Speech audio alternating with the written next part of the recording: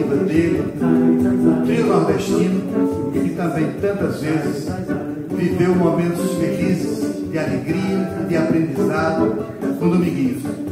E eu, Marcelo Melo, integrante do Quinteto Violado, com quem Dominguinhos teve desde o início da nossa carreira conosco.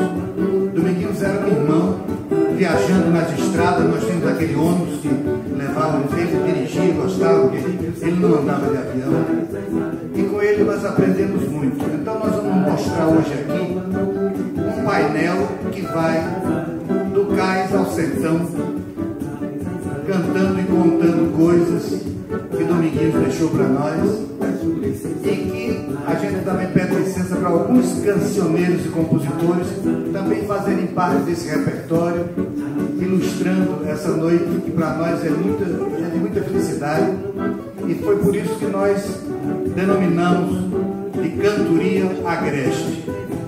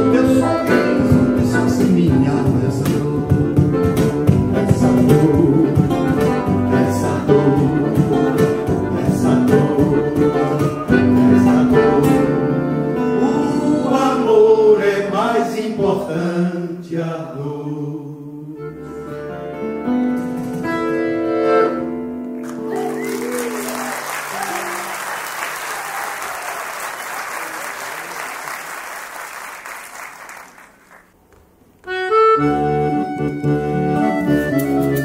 um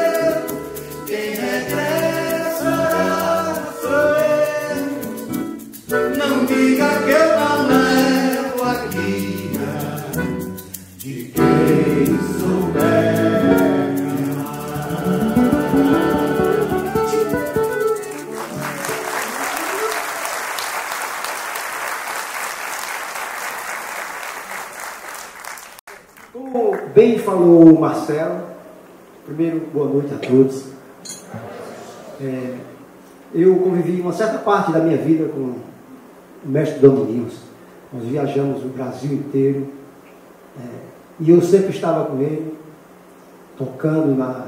Inclusive, nós tocamos aqui no Sesc Belenzinho várias vezes. E ele, nessas andanças que eu estive com ele, ele colocou um CD lá que ele gravou, é, duetos ele convidava os, os amigos dele, né? os amigos dele, os artistas. E certo dia a gente viajando, a gente estava indo para Brasília, e ele colocou esse CD e começou a escutar. E eu estava eu e ele, e ele, toda vez que o, o, o convidado começava a cantar, aí ele tá, tá, tá, começava a rir. E eu não entendia por quê ele ria. né? Aí outra música, outro convidado, e ele, mesma coisa, chega Assim, chega, saía lágrima nos olhos, assim, batia na direção, assim, como que, sabe, aquela... E ele dizendo assim, mas rapaz, veja como é que esse cara canta. Olha só, como João, presta atenção. Aí eu, escutando com ele, já em outra viagem, o mesmo CD ele colocou e a mesma coisa acontecia. Ele ria toda vez que eles começavam a cantar. Eu vou sintetizar em uma música o que, como seria a participação dos artistas, dos amigos dele, nesse CD. Lógico que a minha voz não é como a de Dominguinhos, né? Que a voz de Dominguinhos é a voz bem mais, bem mais forte, tá? Mas digamos assim, Dominguinhos cantando, na primeira parte. Tô com saudade de meu desejo. Tô com saudade do beijo e do mel, do seu olhar carinhoso, do abraço gostoso, passear no teu céu. Aí o convidado entrava, ele começava a rir. Aí, é tão difícil ficar sem você. Seu amor é gostoso demais. Isso é Nando Cordel. Palmas para Nando Cordel, o compositor dessa música. Estou com você, estou nos braços da paz. Aí o outro. Pensamento viaja muito bem e vai. Meu, meu, meu bem que não posso ser feliz assim, feliz assim, muito maior. Seria João Bosco. Quando ele conversava, ele João Neto, olha o jeito desse cara, isso é jeito de cantar. João Dominguinhos todo tra tradicional, né? Ele disse, mas não é possível o cara cantar desse jeito. Aí depois desse aí entra o outro. Tchubidu, tchubidu, tchubidu. Aí Djavan ele disse, mas como é que o cara quer, quer dizer com tchubidu? Aí por isso aí ele ria. Eu digo assim, aí eu prefeito, eu vim entender. E ainda tem o outro, né? Aí. Turma saudado, doutor, todos hoje. Turma saudade do beijo e do mel. Geraldinho Azevedo. Seu olhar carinhoso, vai ser bom pra baixo. É, seu abraço gostoso. Aí nessas andanças entre dois meninos, eu é, participei de muitas histórias dele assim, porque a gente viajava três, quatro dias, eu e ele, ele tinha que conversar, né? Ah, inclusive, Marcelo, teve outro dia que a gente vinha de, de, de Porto Alegre, ele mandou fazer um concerto no carro, na Mercedes, aí mexeram lá e desligaram a bateria. E ele gostava muito de escutar a rádio CBN. Aí pronto. Aí foi um desespero total. Como é que ia escutar se o rádio, depois que desligou a bateria, acabou-se a pipoca, acabou-se o jogo, acabou-se a pipoca. Aí ficou aquele tédio no carro. Ele conversou, conversou, mas depois de seis horas de viagem não tinha mais assunto. Qual era o assunto que tinha? Aí eu digo, mas seu Domingos agora?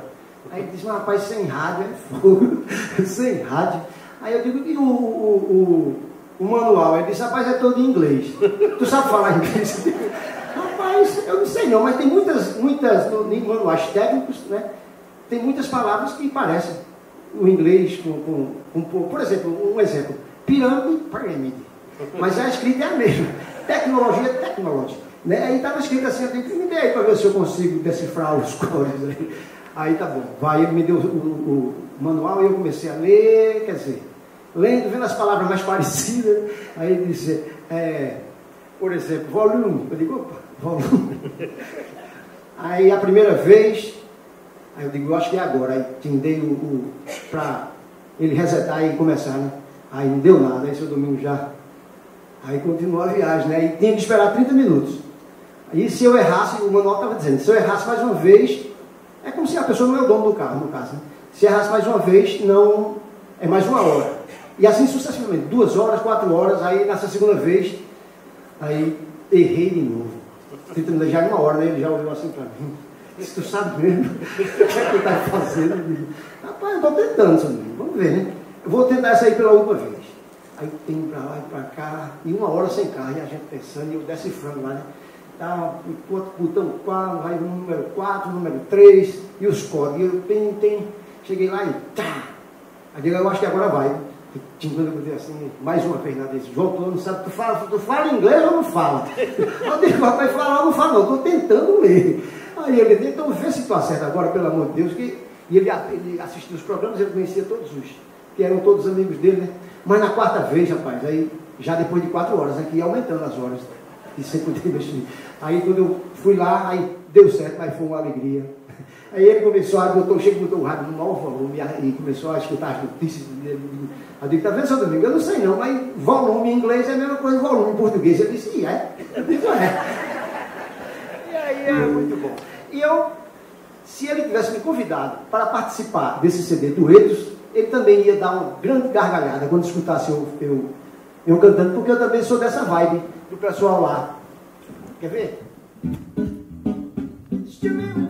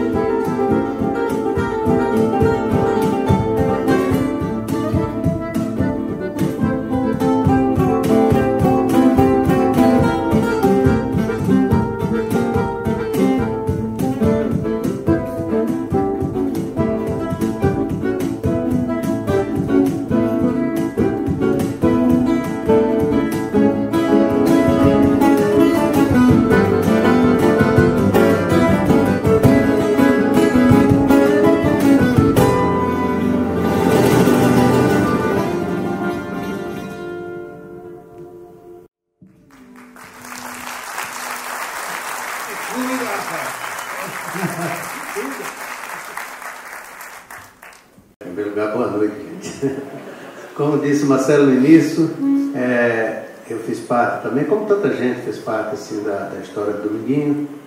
E eu conheci Dominguinho é, em 75, daqui a pouco o diz de novo, viu? Em 75, é, lá no Rio de Janeiro, na, numa gravadora que eu estava fazendo o disco da Marinês, a grande cantora Marinês, com quem eu ia viajar e fui apresentado Dominguinho. A partir dali a gente fez uma amizade muito boa, amizade essa que durou muitos anos. E essa amizade, é, nos anos 80 eu estava, eu fui convidado pelo trio nordestino para participar do trio nordestino, onde eu passei 11 anos, e já estando no trio nordestino, foi quando eu fui pesquisar a história do trio nordestino, e fiquei sabendo que o Dominguinho foi o primeiro trio nordestino. Ele, junto com o Zito Borborema e Zé Mildinho. Eles, em 56 eles tinham um trio, que era o trio nordestino, batizado por Dona Helena, esposa de São Luís Gonzaga. E nos anos 60, Dona Helena tirou, como o trio nordestino não durou muito, até porque Zito Borborema chegou em Natal, conheceu uma morena muito bonita chamada Chiquinha, que tocava sanfona, ele olhou assim e disse: Vamos trocar uma mulher por dois homens, mas negócio. Ele largou os dois homens e ficou com a morena, né? E ali acabou o trio. O. Luiz Gonzaga pegou o Dominguinho para acompanhar, para trabalhar com ele. Nos anos 60, a Dona Helena batizou os três da Bahia, como era chamado os roxinhos da Bahia, Cobrinho, Coronel de Indústria e Trio Nordestino. Em 80 eu entro no Trio Nordestino e vim saber que o Dominguinho tinha sido o primeiro. E eu tive a felicidade lá no Recife de, de gravar em sete discos, sete CDs que ele fez lá no Recife, e eu fazendo sanfona junto com ele no disco dele. A primeira vez que eu fiz o primeiro disco, eu confesso a vocês, foi complicado. Ele me chamou lá no estúdio e eu fui para lá, né? Eu estava achando que estava de brincadeira, né? Amizade de muitos anos. Aí ele pega a sanfona aí. Ele botou o alquim naquele narizinho bem pequeno dele. Aí ele botou o alquim aqui em cima e só ficou cantando a letra e eu apoiando. Mas para mim estava tudo uma brincadeira. Quando terminou a base, ele disse, vai lá para dentro tocar. Meu velho é brincadeira não, minhas pernas tremiam mais do que maravilha no sertão. Digo, eu tocar para Dominguinho no disco dele, tá doido. Mas ali começava a brincadeira, sete discos que a gente gravou junto. O último ele fez pior. O último ele me largou gravando sozinho e se mandou para Fortaleza. Eu digo assim, agora está tá acreditando demais agora. Mas ele era ótimo, ele era maravilhoso, era assim, era aquela pessoa, quando, quando ele tinha confiança, acreditava na pessoa, o João Neto que o diga que viajou com ele, e ele era assim. Ele sempre foi aquela simplicidade, aquela boa de pessoa. E eu tive a felicidade de conviver com ele até os finais dos dias dele. Mas hoje eu só digo aquilo que o senhor Luiz costuma dizer disso. Pô, saudade. Né? Mas como eu fiz parte do trio nordestino, eu vou cantar uma música que eu gravei do trio nordestino em 84. E eu acredito que vocês conhecem essa música.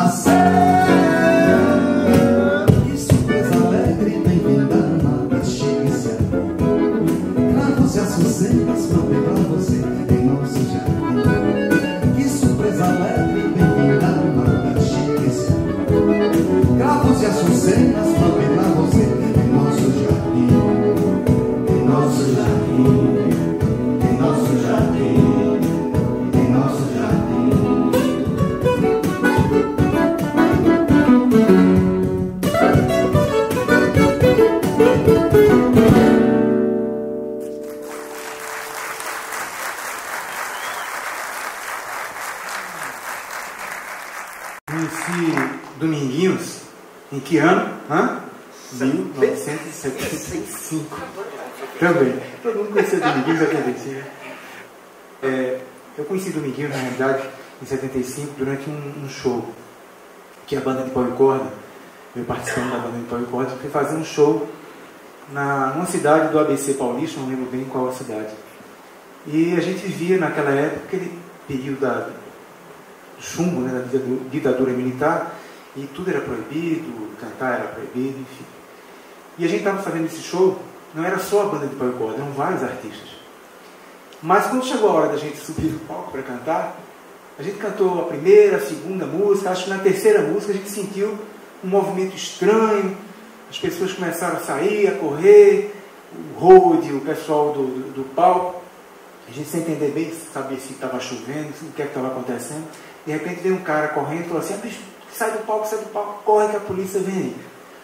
E esse cara era Dominguinhos. Esse foi o primeiro contato que a gente teve com o Dominguinhos. Ele foi, levou a gente leva amor. Né?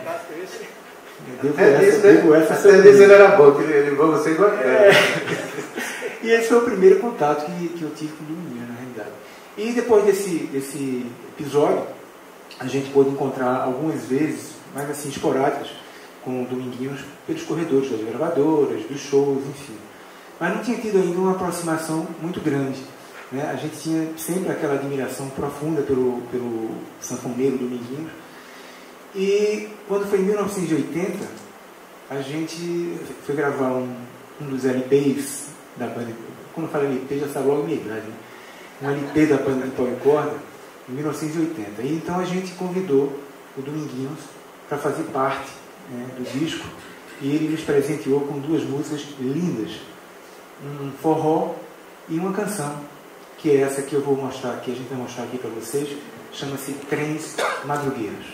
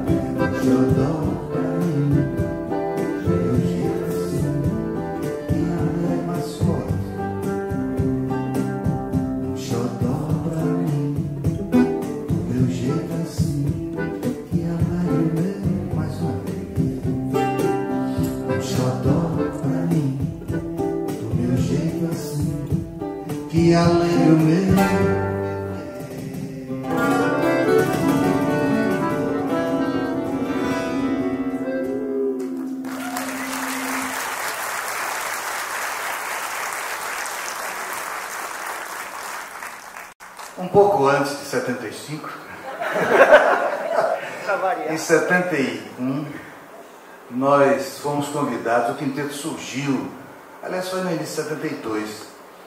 Aí nós fomos convidados para aqui em São Paulo fazermos um circuito universitário, o quinteto e o rei do Baião, Luiz Lua Gonzaga. Foi quando eu tive talvez assim o meu primeiro alumbramento com o rei do Baião, no palco do, do Tuca, né? ele entrou com a sanfona para passar o som com a gente e a gente ia fazer uma série de cidades dentro das universidades com Luiz Gonzaga, que abriu o show, era, era Gonzaguinha, só com violão, e o quinteto entrava e o Gonzaga, quando chegava, ele trazia junto dele um sanfoneiro de apoio que era Dominguinhos. E Gonzaga daí para diante ele, ficou muito próximo ao quinteto, ele, ele, ficou muito encantado com aquele arranjo que o quinteto tinha feito da Asa Branca. Ele chorou, emocionado, e disse, olha, foi a leitura mais bonita que eu vi dessa canção. Então, a gente começou a viajar e fomos ficando cada vez mais amigos, aprendendo muito com ele, uma sabedoria muito especial. Ele tinha uma capacidade de traduzir as coisas do sertão do nordestino, os aspectos pitorescos do homem sertanejo. Era muito especial, contava histórias com o resfoleiro da sanfona, e com isso a gente aprendeu com ele como se. Foi até um texto de Zé Dantas que contava como acontece um parto no sertão. Era Samarica Parteira. O quinteto fez um arranjo, fez uma leitura que era muito mais, era um, era um trabalho quase uma opereta, contando essa história de como acontece um parto no sertão e que tivemos passando mais de 10 anos parindo, porque todo mundo pedia, gente não podia chegar num canto, todo mundo, passa ah, Maria Martins. E com Dominguinhos, que a gente acompanhou junto e fomos ficando muito próximos com ele, aprend, nós, nós é, aprendemos com ele um forró muito bonito. E o quinteto fez um arranjo e que logo depois, ele não tinha nome, nós gravamos no segundo disco do quinteto, nós gravamos o forró do Dominguinhos todo mundo fora do menino. Quando o Gil voltou do exílio, passou um período fora e tal, aí ele ouviu e botou a letra que tornou-se assim um, um encanto que é o Lamento Sertanejo. Então nós vamos mostrar agora exatamente o Lamento Sertanejo e em seguida a parte instrumental do Forró do Dominguinhos para vocês. Vamos lá.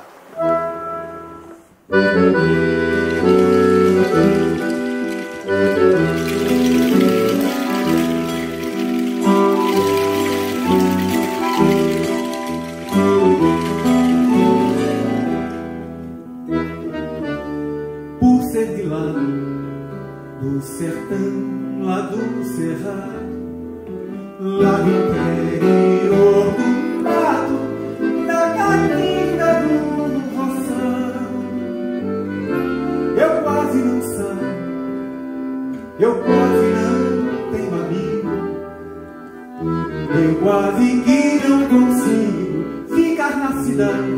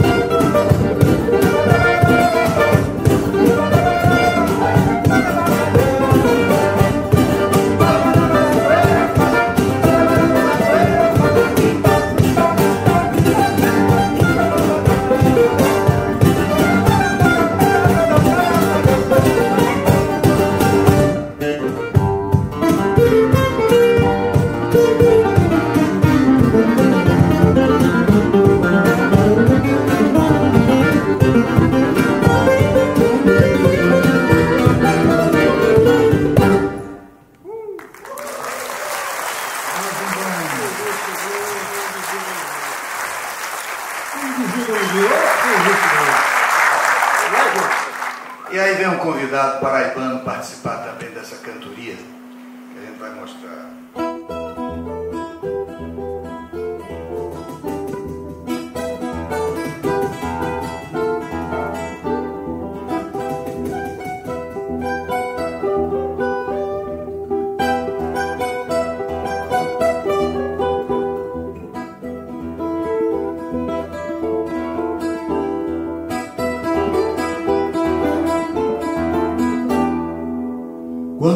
still want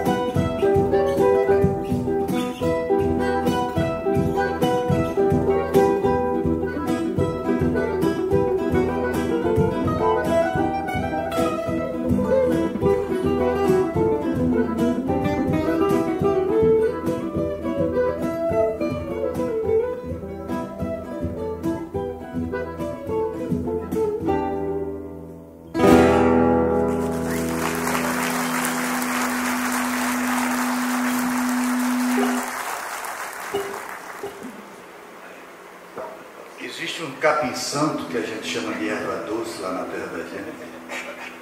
Esse caboclo aí fez uma canção muito bonita com essa erva. Erva doce, erva santia. Number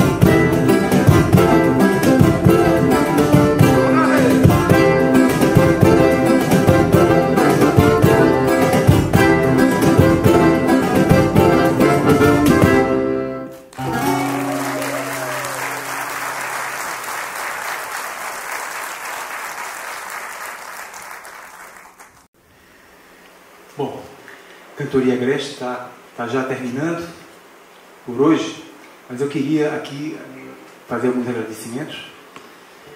É...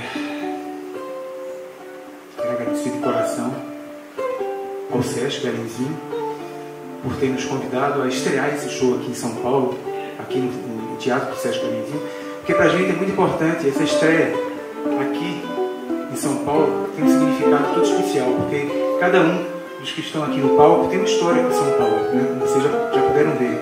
Eu, por exemplo, é, desde, desde o início da minha carreira profissional, eu sempre frequentei São Paulo, eu gravei em São Paulo todos os discos da banda de Paulo Corda. A gente gravava na rua Dona Veridiana, no bairro Santa Cecília, tinha uma, uma gravadora chamada RCA, que hoje não existe mais. É... Então, cada um tem uma história com São Paulo. São Paulo ofereceu muito para gente, para cada um de nós. Então, estrear aqui tem um sabor especial. Então, eu quero agradecer de coração ao, ao Sesc Belenzinho por ter visto, por ter aceito, por ter trazido esse projeto para cá a você. Eu quero agradecer também muito a todo o pessoal, toda a equipe que trabalhou nesse espetáculo hoje, ao Gabriel Isidoro, que está fazendo o nosso som, é, Juninho, o nosso road, né? todos foram muito bacanas com a gente. Quero agradecer também ao, ao som, né? o som do Aldo, um som muito bom. Agradecer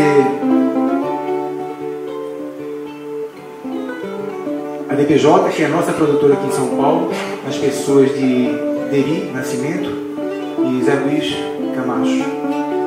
É, eles mostraram esse projeto ao SESC e estão produzindo espetáculo aqui em São Paulo. É, deixa eu ver mais.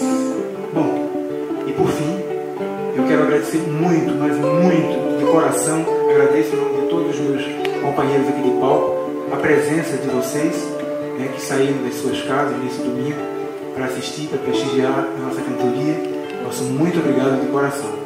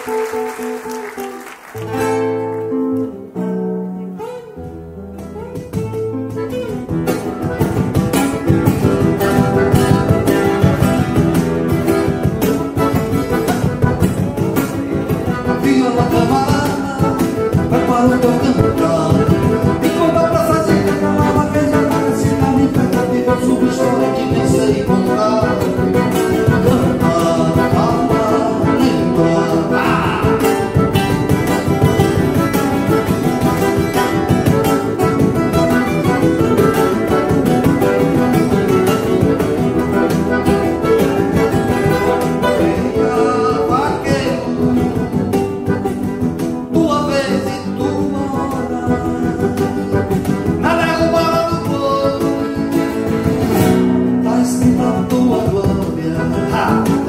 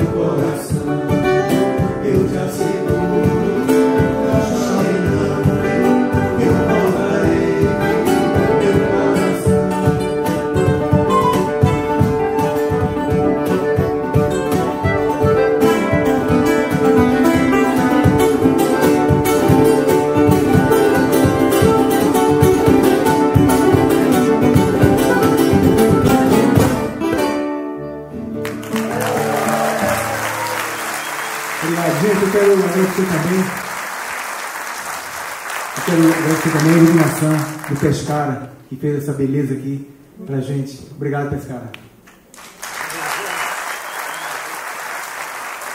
Obrigado Pescara.